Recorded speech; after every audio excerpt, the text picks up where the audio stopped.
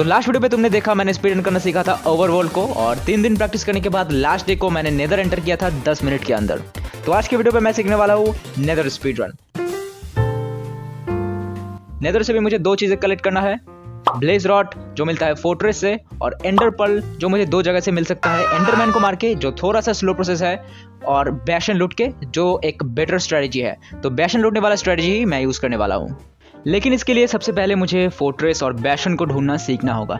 Last video पे मेरे comment section पे बहुत सारे लोग बोल रहे थे कि सनफ्लावर को यूज़ करके मैं फोर्ट्रेसेस ढूंढ सकता हूँ, लेकिन मैंने थोड़ा बहुत रिसर्च किया और इससे मुझे पता चला कि सनफ्लावर हर वक्त ईस्ट की तरफ़ फेस करता है मतलब जिस तरफ़ तुम्हारा सूरज उठता है उस तरफ़ फेस करता है और ईस्ट के तरफ़ फोर्ट्रेसेस स्पॉन नहीं होते। इसका कोई फुल प्रूफ एविडेंस नहीं है कि ईस्ट की तरफ़ ही तुम्हारा फोर्ट्रेस स्पॉन होगा। तो इसके लिए एक बेटर स्ट्रेटजी है। तुम स्क्रीन पे एक मैप देख पा रहे होगे। इसको कहा जाता है नेदर क्वाड्रेंट्स मैप इसमें हर एक क्वाड्रेंट 316 इंटू थ्री ब्लॉक्स का बना हुआ होता है। बेडरॉक वर्जन पे थोड़ा अलग है। बेडरॉक वर्जन पे 416 इंटू फोर ब्लॉक्स का एरिया होता है। तो हर एक क्वाड्रेंट पे एक ही स्ट्रक्चर स्पॉन हो सकता है। अगर एक क्वाड्रेंट पे एक स्ट्रक्चर स्पॉन हुआ तो तुम्हें दूसरे क्वाड्रेंट पे जाना पड़ेगा, तभी तुम्हें वहाँ पर एक दूसरा स्ट्रक्चर मिल सकता है।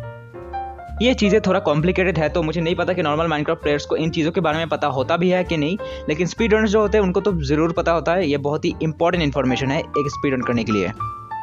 जावा वर्जन पे कुछ सेटिंग्स होते हैं एंटिटी अमाउंट पाई चार्ट इनसे तुम बैशन और फोर्ट्रेसेस को इजीली लोकेट कर सकते हो। लेकिन बेडरॉक एडिशन पे ऐसा कुछ नहीं है तो बेडरॉक एडिशन पे थोड़ा सा हार्ड होने वाला है और इसको सीखने में भी ज़्यादा टाइम लगने वाला है।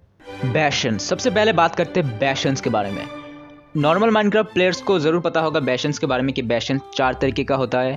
Housing bridge treasure room stables ये चार तरीके का बैशंस होते हैं। तो स्पीड रन करते वक्त इनमें डिफरेंट राउटिंग यूज़ किया जाता है, जिससे कि पिगलिंस को ट्रैप करके उनके साथ ट्रेड किया जाता है। तो इसके लिए मैंने एक प्रैक्टिस मैप डाउनलोड किया था बैशंस के लिए, और वहाँ पर मैंने थोड़ा बहुत प्रैक्टिस किया है, जिससे कि मैं एक्चुअल रन में ख़राब ना खेलूँ, अच्छे से खेल पाऊँ। तो यहाँ पर मैं एक रैंडम वर्ल्ड पे नेदर पे एंटर कर रहा हूँ। कंपेरेबली ये थोड़ा सा ज़्यादा टाइम लगा 19 मिनट ज़्यादा ही है। यहाँ पर मेरा कॉर्डिनेट्स देख सकते हो 10 और 24 एक्स और जेड एक्सिस दोनों ही पॉजिटिव पॉजिटिव है। तो मैं positive 416 sixteen into four block area में मैं ढूँढने की कोशिश करूँगा कि आसपास कोई स्ट्रक्चर है कि नहीं। मुझे बैशन या फोर्ट्रेस दोनों में से कोई भी मिल सकता है। इन दोनों पॉजिटिव कोऑर्डिनेट्स में थोड़ी देर ढूँढने के बाद 275 और 335 कोऑर्डिनेट में मुझे एक बैशन मिला है। पहले इस बैशन को देख के मुझे समझ में नहीं आया कि ये कौन सा वाला बैशन है, क्योंकि मैं अभी तक एक नया प्लेयर हूँ, इसलिए मुझे समझ में नहीं आया कि ये कौन सा बैशन है। थोड़ी देर अंदर जाने के बाद मुझे पता चला कि ये एक ब्रिज बैशन है। ब्रिज बैशन को पता लगा जा सकता है, क्योंकि ब्रिज बैशन पे एक जगह पे बहुत सारा गोल्ड स्टैक करके रखा हुआ होता है।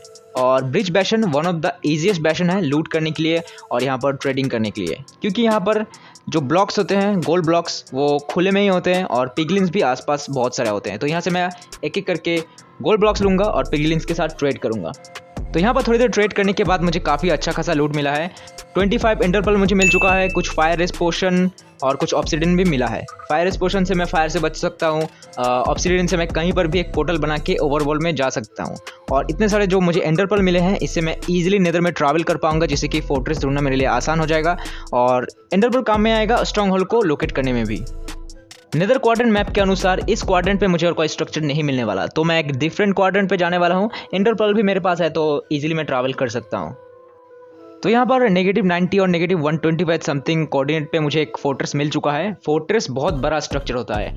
इनमें ब्लेस स्पॉनर को ढूंढना बहुत ही मुश्किल होता है, लेकिन इस बार मेरा लक थोड़ा अच्छा था कि मुझे जल्दी ही ब्लेस स्पॉनर मिल गया। और बहुत सारे स्ट्रे विलेजेस भी होते हैं, उनको मार के भी मैं ब्लेज रॉड कलेक्ट कर सकता हूँ।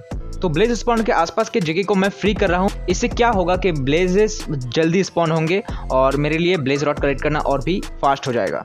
जैसे मैं छः सात ब्लेज रॉड कलेक्ट कर लूँगा जिससे कि जो एक्स्ट्रा बचेंगे, उससे मैं स्ट्रॉन्ग होल को लोकेट कर पाऊँ। यहाँ पर मेरा मेन पोर्टल बहुत ज़्यादा दूर है तो खुद से मैं एक पोर्टल बना के ओवरवॉल में जाने वाला हूँ। ये मेरा पोर्टल तैयार हो चुका है, इसको ऑन कर दिया। अब यहाँ से मैं अपने ओवरवॉल में जा सकता हूँ। तो यहाँ पर खत्म होता है मेरा नेदर स्पीड रन ऑलमोस्ट एक घंटे लग गए, क्योंकि मैं अभी तक एक न्यू प्लेयर हूँ। स्पॉइलर एलर्ट इसमें मैं स्ट्रॉन्ग होल को ढूंढ भी लेता हूँ और ड्रैगन के वॉल में चला भी जाता हूँ, लेकिन ड्रैगन मुझे मार देता है। मैंने ड्रैगन को मारना सीखा था छह सात महीने पहले तो प्रैक्टिस ना करते करते मैं भूल गया हूँ ड्रैगन को कैसे मारना होता है। तो थोड़ा बहुत प्रैक्टिस करके नेक्स्ट एपिसोड पे एक फुल रन आएगा तो उसके लिए चैनल को सब्सक्राइब करके बेलाइकन को दबा के रखना, क्योंकि कुछ ही दिन के अंदर मैं वो वाला एपिसोड अपलोड करने वाला हूँ।